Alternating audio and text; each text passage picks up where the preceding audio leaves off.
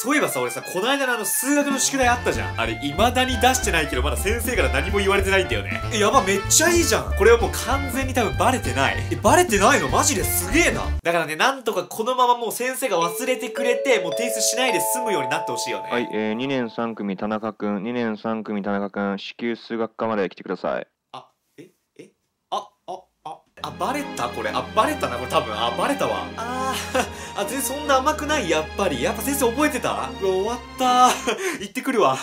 先生に呼び出された時なんかさ、この間さ、勝俣先生の授業受けたんだけどさ、なんかこう、板書してる時なんか黒板のさ、もう書いたやつをさ、すぐに消しちゃうんだよね。あ、確かにな。まあ、俺も授業受けた時確かにそうだったわ。マジさ、まだ書いてる途中なのに消すなよって感じだよな、マジで。まあ、確かにうぜえよな。もう本当にさ、なんか消すの早くてさ、マジちょっとイライラするんだよね、本当に。勝俣この野郎みたいな。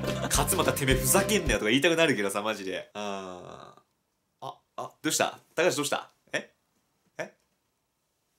後で職員室来てね。はい、行きます。先生の悪口を先生に聞かれた時。いややっと4時間目終わった。マジで腹減った。よしお弁当食おうぜ。あれ？あれ？あれ？あれ？あれ？あれ？あれ？お前もしかして忘れた？あああー、お弁当忘れたねこれ。マジかよ、お前、どんまいじゃん、マジで。この学校学食ねえからな、マジで終わった。あ、ちょ、ごめん、高橋。ちょ、卵焼き一つだけちょうだい。